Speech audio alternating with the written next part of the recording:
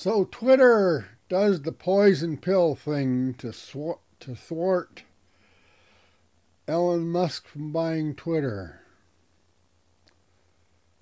Somebody out there with a big pocketbook should join in with Elon Musk to buy Twitter.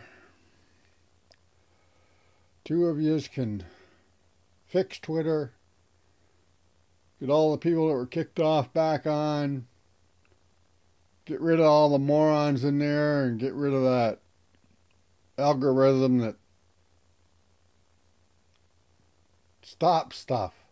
Like, it's just unrealistic. Twitter's going downhill so fast, it'll be a nothing in five years if, that, if it ain't bought out.